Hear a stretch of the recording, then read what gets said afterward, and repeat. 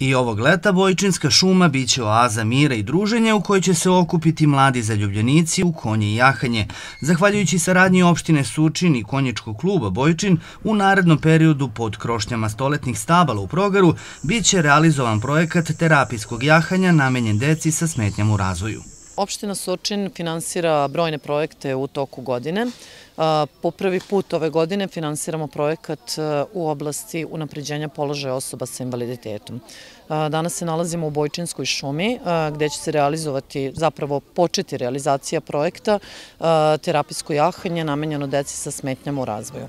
Opština e, zaista ogromna sredstva izdvaja svake godine za finansiranje brojnih projekata u oblasti sporta, kulture, E, crkava, verskih zajednica, udruženja građana, ali nekako ovaj nam je najbitniji i najznačajniji da se isprati i dobro realizuje.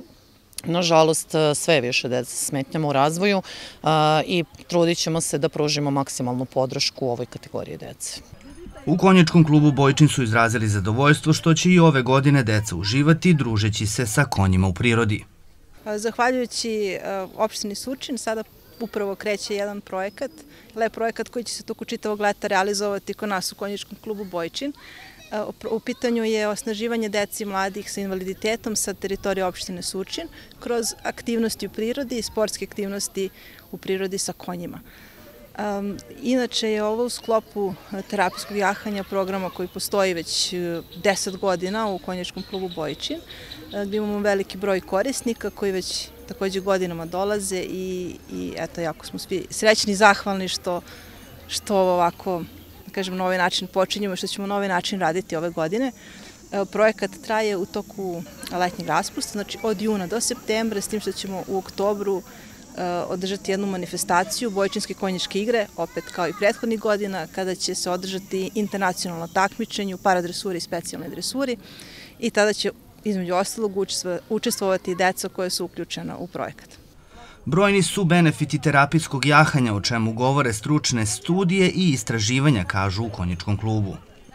O tim stvarima, poboljšanju motorike, ravnoteže, jačanju mišića, e, svim tim e, razvoju govora, e, razvoju koncentracije, znači radu na nekim stvarima koje se i inače rade u učionicama, ali ovde kod nas na opet neki način da deca imaju bolju motivaciju.